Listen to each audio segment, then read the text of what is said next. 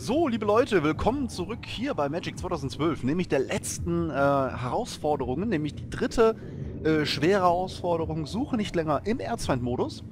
Und ich werde euch hier mal ein bisschen reinbegleiten. Als erstes, was haben wir Schönes? Da gucken wir uns erstmal alles an. So.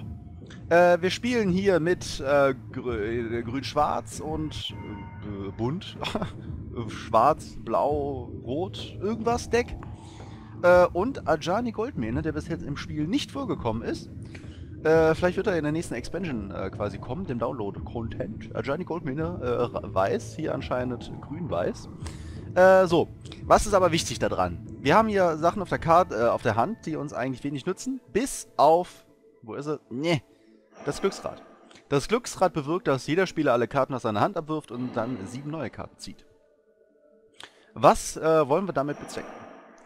So, das ist erstmal, weil ich weiß nicht, was der Gegner auf seiner Hand hat. Das heißt, äh, beziehungsweise er hat ja null Karten auf der Hand und das ist ja das Entscheidende. Denn ähm, da kommt gleich noch eine schöne Verzauberung ins Spiel von ihm. Äh, ja.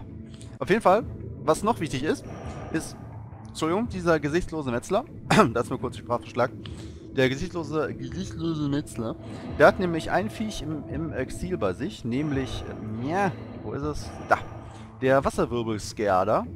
Und ähm, dass der Effekt, wenn der in die, äh, die Karten von der Hand in deine Bibliothek und ziehe dann genauso viele Karten. Das wird nämlich ganz wichtig sein. So, mit diesem Glücksrad sorgen wir nämlich dafür, dass der liebe Gegner erstmal sieben äh, Karten auf die Hand bekommt. Und das wird noch sehr wichtig werden. Ähm, jetzt ist ja zack hier irgend so ein Scheiß hier passiert und ist hat auf jeden Fall wieder 33 Lebenspunkte und da denkt man sich, äh, äh, was machen wir denn da jetzt? Und ich habe noch vergessen Land zu spielen. So, ich hoffe, das klappt trotzdem. So, Angriff. Wir greifen nämlich hier mit dem, äh, wo ist er? Zack. Mit dem, äh, hier. Ah, Drachenmagier an. So. Äh, und immer wenn er einen Spieler Kampfschaden zufügt, werfen alle Spieler alle Karten aus ihrer Hand ab, beziehungsweise sieben Karten. Das heißt, jetzt nämlich, ist hier liegt die Verzauberung auf magische Art und Weise. Und immer wenn ein Spieler eine Karte zieht, äh, verliert dieser Spieler zwei Lebenspunkte, falls nicht zwei bezahlt.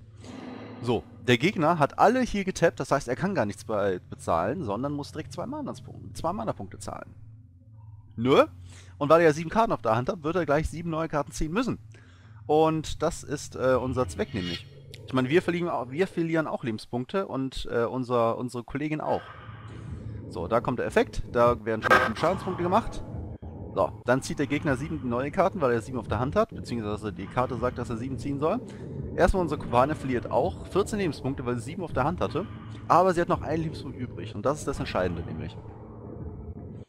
So, die wird nämlich auf 1 reduziert. Dann müsste es eigentlich hier beim Tetheret anspringen. Ja. Da verliert ihr es nochmal 14 Lebenspunkte, weil ihr ja gar kein Mana zu bezahlen.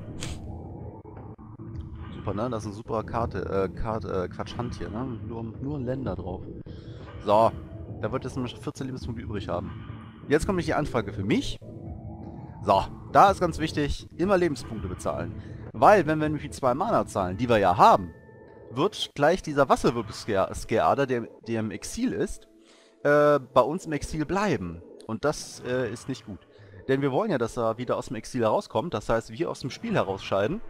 Und äh, wenn diese Waffe Wasserwirbelskeader äh, ins Spiel kommt, das heißt, Exil ins Spiel bei ihm, wird der Effekt der Karte neu aktiviert und er muss wieder neue Karten ziehen. Das heißt, er muss seine in die Hand, äh, seine aus der Hand gezogenen bla bla äh, neu ziehen.